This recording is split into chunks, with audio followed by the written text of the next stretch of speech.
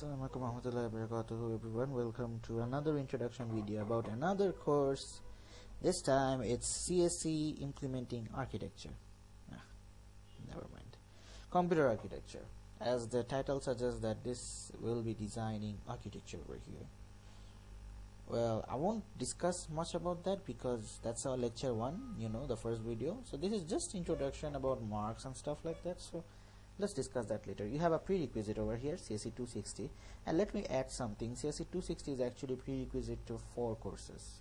So it's a pretty important course. You don't want to ignore this. You don't go and take 230 and leave 260 you rather do 260 first because 230 is not a prerequisite to anything. But this guy over here 260 is directly prerequisite of four courses and indirectly it can it is prerequisite of four more courses. So eight courses are tied with this course. So you don't want to underestimate CSE 260 better do it fast. And the faculties are you have two fixed faculties SCH and DJU GSR that is. So they're fixed actually. You don't see other faculties there. At least this is spring 19 you won't be seeing. Anyways moving on about this course. So the term computer architecture emphasizes the engineering decisions and trade-offs that must be made in order to produce a good design. Very formal definition. To put it simply, if I want to say this in one word, I will say that, you know, we did programming language, right? We run softwares and programs from this computer. As you can see, Microsoft PowerPoint itself is a program. Then again, there's a part that starts, that everything begins from. Uh, since the power button is turned on, I click, uh, I don't click, I press the power button and things start working. The BIOS shows up and then all these things then they write so many things your RAM is that which is your boot whatever stuff like that. Very core things right?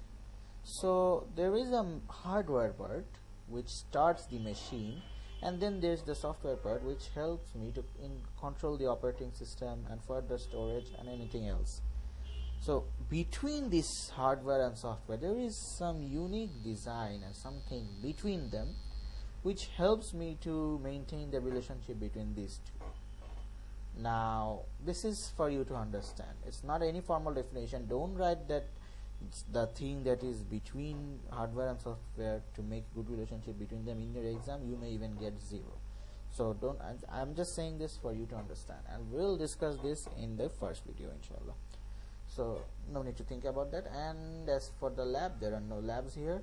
But this is a you know this is a tough course. I will say uh, if you are dedicated to computer you know you're passionate about computer science then you should be fine. But if you're like okay I'm, I'm here in CSE for doing jobs and I want to get a good CGPA or something being a good student won't help you here. You really need passion to work through this you need understanding you need to use your own my how, how do I put this? You need to be more practical and enthusiastic about this. This is a tough course I'll tell you this. And you really need to survive this. Then again if you're passionate you will get four inshallah. So let's get this. These are the contents which will not make any sense if you're seeing them for the first time but at least you know what's cache and you know overcoming data hazards so these are just have a look at them. Oh you won't even uh, probably won't even understand but still you know. I'll just tell you one thing. This MIPS over here is million instructions per second. Oh, hope that helps. This is the part you want to look at. This may vary depending on faculty. So that means it differs from GSR, DJU and SCH and the one you have here is for SCH sir. And he he actually yeah this is the one. He has 5 for attendance quiz 25 take a note of the quiz marks. It's big. Assignment 15 he's very serious about this. Viva 5 he may or may not take this but the probability of taking is very high. Mid is 20 final is 30 I think it was changed and from now it's mid 30 and quiz 15 uh, not even 15 quiz 10 and final 35 yep this is how it is now. Okay so that's the marks. Introduction video guys. Every single course introduction video is very small so that's all I have for you we'll start from lecture 1 and that's when the real deal begins inshallah. Happy surviving